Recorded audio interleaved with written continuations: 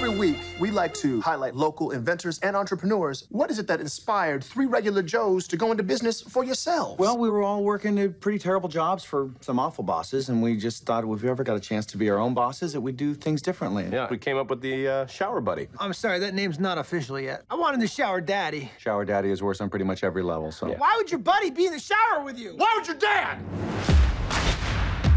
There they are.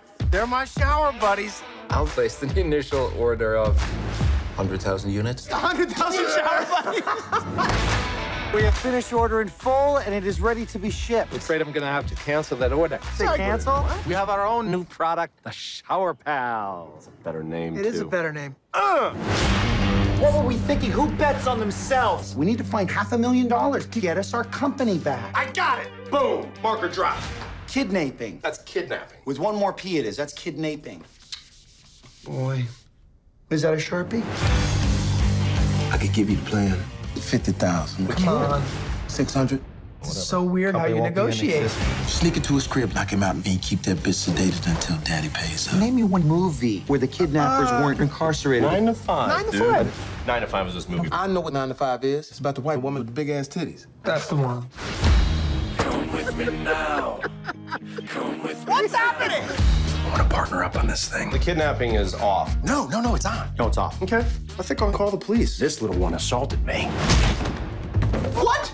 He's fight clubbing himself. We got a fight clubber. Your options are Legal options. Jack. Shit. I heard Jack Leibowitz. Is that an attorney? Gotta be. I'm gonna His write that down. We get his Jack contact Leibowitz. Do you info, have his please? contact info?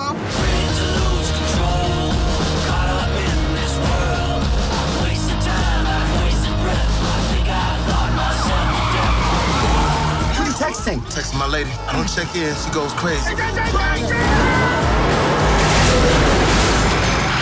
I didn't know you were seeing someone. That's great.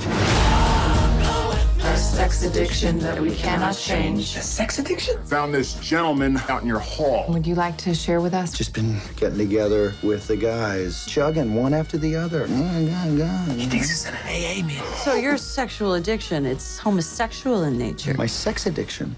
My sex addiction is, um, and then what did you say?